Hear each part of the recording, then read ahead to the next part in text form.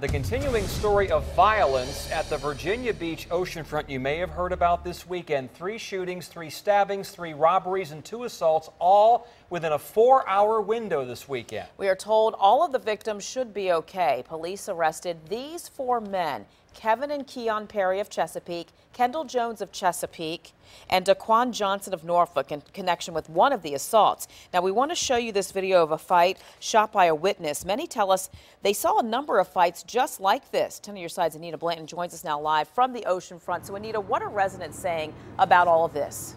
Oh, well, let me start with this. Obviously, much different sight than what we've been seeing in that video from over the weekend. Now, the residents that you were just speaking of that we spoke to out here say they've either never seen anything like it or haven't seen anything like it in at least decades. Now, take a look right up here. You see, we're at 18th Street and Atlantic Avenue. We spoke to folks all the way down to 27th Street that say their ears are still ringing tonight. This loud crowd and the events of this night have left Virginia Beach residents near the ocean front in shock. And it was so many people, it was frightening. Unaware of what events were taking place at the beach this weekend, Evelyn Griggs ventured out to one of the local stores Saturday night. I wondered what in the world is happening.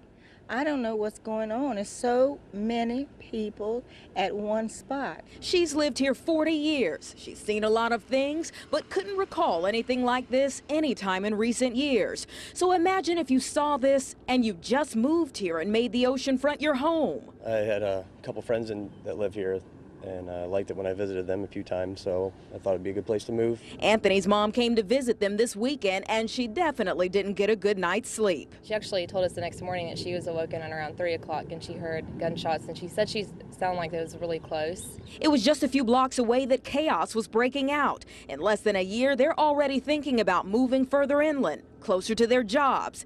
Last weekend was a rude awakening, but other residents say you shouldn't take it as the norm. We may have a bad night, but you know, it's on top of, you know, 100 good nights. Jonathan Haywood was a little sleep deprived too. I have my doors open, my windows open. It's a safe area around here uh, all of a sudden, gunshots, you know, woke me up three times that night. He says things get wild over the summer and that city leaders should look at ways to curtail this particular event. The problem? How do you plan for a crowd you never anticipated getting this big? The mayor says between 30 and 40,000 people were out here over the weekend. He says that they had 88 police officers down here to try to keep people as safe as possible. And we're finally hearing from the people who actually planned this weekend's event. And we'll turn it over to the studio for that part of the story. Nicole? All right, Anita, thanks for that live report. We received an official statement from the organizers of Beach Weekend. This is new at 11.